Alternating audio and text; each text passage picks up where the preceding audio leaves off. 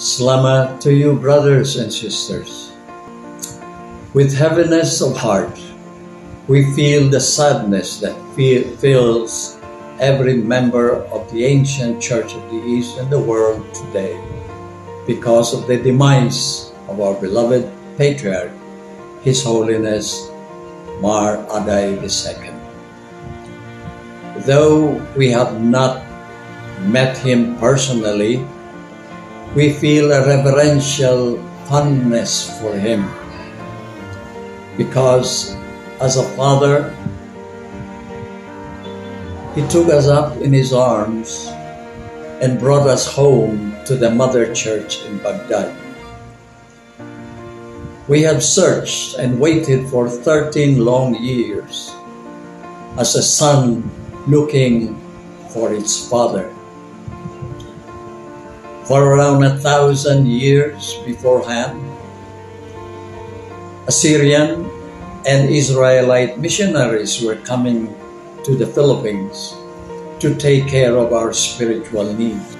It was then a great day of celebration for us when His Holiness Mar Addai sent two Assyrians, Reverend Khoshaba and Deacon George Berum, to the Philippines in 2008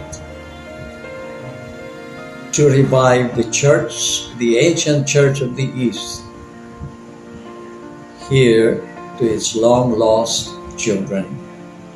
Since then, we have been praying for him in all our kurbana.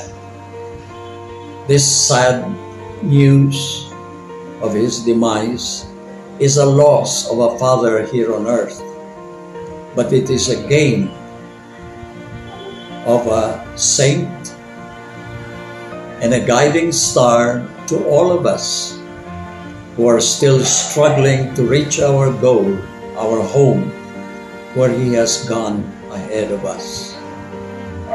In the midst of our grief, we rejoice that we now have a patron praying for us. May he rest in peace from all his labors and enjoy the reward of a job well done here on earth as our once beloved patriarch. Salamat to you, brothers and sisters.